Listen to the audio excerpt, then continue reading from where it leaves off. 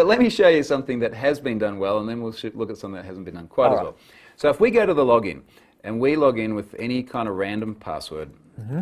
random email address, random password, and we try to log in, we will get a message which says invalid username or password. Yep. Now, the reason this is good is that this gives us some protection against account enumeration. Now, what I mean by that is that if it had to come back and said DSHF blah, blah, blah, blah, blah, blah, does not exist in the system, Yeah.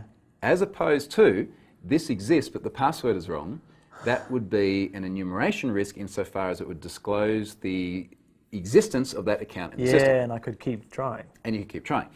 Now, of course, this depends, whether or not it's important, depends on the nature of your app. Sure.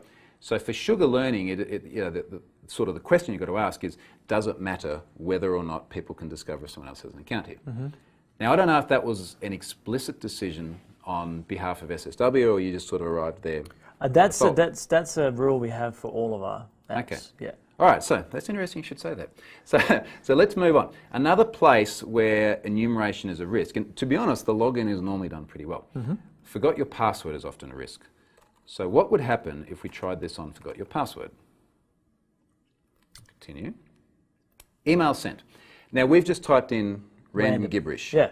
Uh, and it said email sent. Now if I put in my email address and I have an account on the site, I'm pretty sure it will also say email sent. It will. Yes. Now, this is good because what it means is, is the response that you're giving to the users is Mm-hmm. the same whether the account exists or not. So it's not going to disclose the presence of Yeah. the account. So we're good.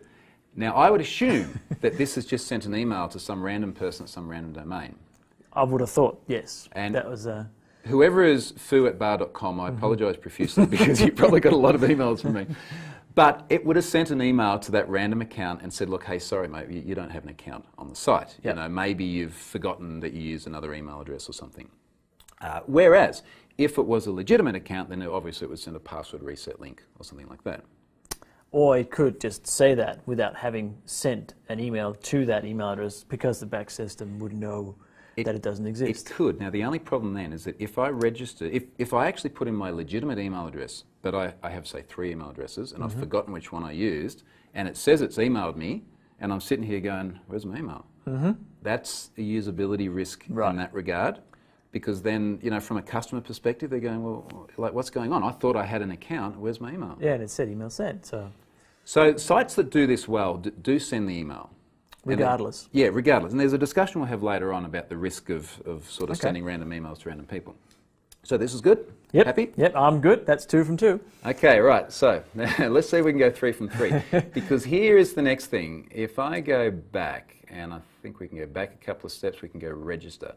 Now, what would happen if we tried to register with my email address? Now, I already have an account. Um, so we'll just put in my info again. Put in a nice password. Highly secure, of course. and let us register. Ah, Ah, right. But bugger. I've seen this on a lot of websites, though.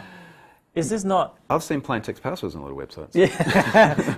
no, what I'm saying is that I wouldn't want someone to try and take my account with an address. But th- they're kind of parallel concepts. So, Yeah. and, and let's tackle them separately. So that the first part is that from an enumeration perspective, there is a vector on Sugar Learning which discloses the presence of accounts. yes.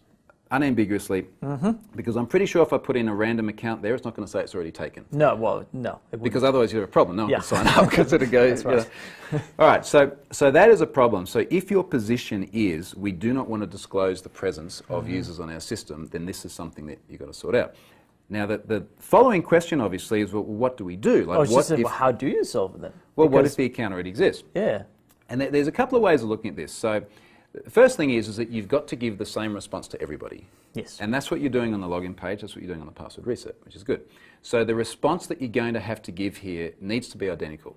So how do you then notify the person? And the way you do that is via email. Yes. So what you'd have to say is, thank you for registering, we've now sent you an email. And that mm-hmm. might be, uh, often you're going to send someone an email anyway because you want to do verification. Mm-hmm, so mm-hmm. is this a legitimate sign up?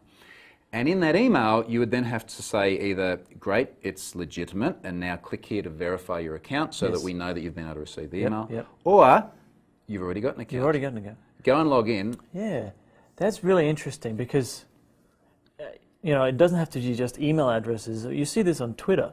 Twitter is a prime example of saying you have a username which is unique, Mm. and you type that in, and it'll say instantly, username's already taken. Yes, but the only thing is, is that the username is not quite as uniquely identifying. In fact, it's nowhere near as uniquely identifying as an email address. Like an email address, I can take, say, your email address, Yep. and if, if I see this, I know that almost certainly you've got an account on there. That's true. Um, okay, another example. I think maybe Gmail does show. You can type in, "I want this email address Yeah. at gmail.com," and it'll show you, tell you whether you can have it or not. That is telling you whether that username exists. Because Gmail is the email providers. It'd be different if you went to, and this gets really meta, but it'd be different if, if you went to Gmail and you signed up with, say, your Outlook.com account. It says this Outlook.com account already has an Right. account here. Because that is, that is really personally identifiable information. Yeah. All right. No, fair enough. Right, so that's what you'd have to do. Now, the, the other angle on this is people say, oh, but that's really nasty. Like, you know, can't you just tell people that they've got the mm. wrong account? But the thing is, you, you got to look at where the split is, and probably like 95% plus of the time, someone's going to sign up with an email address that doesn't exist, and you'll be fine. And there's going to be Yeah. this small fraction of people who sign up, and they've already legitimately signed up. We don't really care about the illegitimate ones. No. Like if you're just trying to enumerate accounts, we don't care how bad that user experience is for you. So for that small fraction of people, they're then going to have to get that email which says, "Hey, look, by the way, you know, you've actually already got an mm, account," and then go mm. and log in or reset your password, or whatever.